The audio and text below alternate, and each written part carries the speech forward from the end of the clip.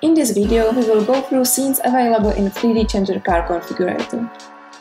We will show you how to download and open a scene, as well as how to make advanced adjustments. 3D Changer offers a total of 14 scenes and 12 HDRI backgrounds, each of which represents a different environment. When you first launch 3D Changer, you will find that a single scene is available by default. However, if you have the full version of the program, you can download the rest. To do so, simply select a scene to start the download. Once the download is complete, be sure to restart 3D Changer to access the new scene. After restarting the program, go to the scenes. Here, you can select the environment you would like to open. Once you have made your selection, simply click the Go button. 3D Changer offers a variety of different scenes to choose from. If you choose one of the studio scenes, you will have the ability to change the background color.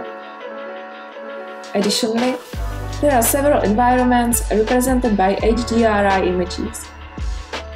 HDRI stands for High Dynamic Range Imaging, which is a 360 degree image that is wrapped around the car and serves as the background.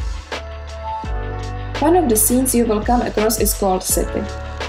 It is not included in the standard 3D Changer license, but it can be purchased as an extension.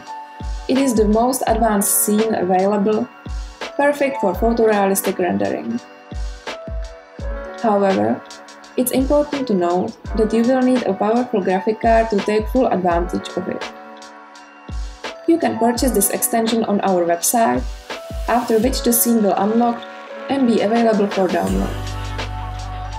In the Tools selection, you will find a library of color presets.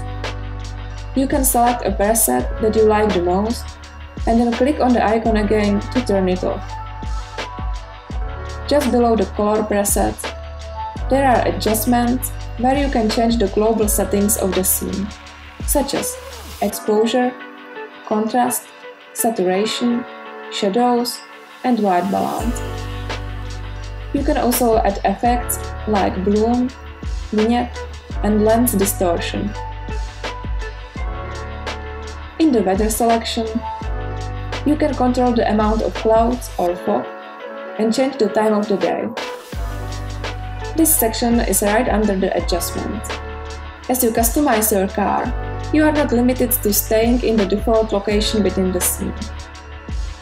You can easily change the car's location by going to the top menu, clicking on this icon, and adjusting the position as desired. If you need to reset the position, you can do so by clicking on the reset icon. You can find the link to download 3D Changer in the description below. And if you enjoyed this video and want to see more content about 3D Changer, don't forget to like and subscribe. Thanks for watching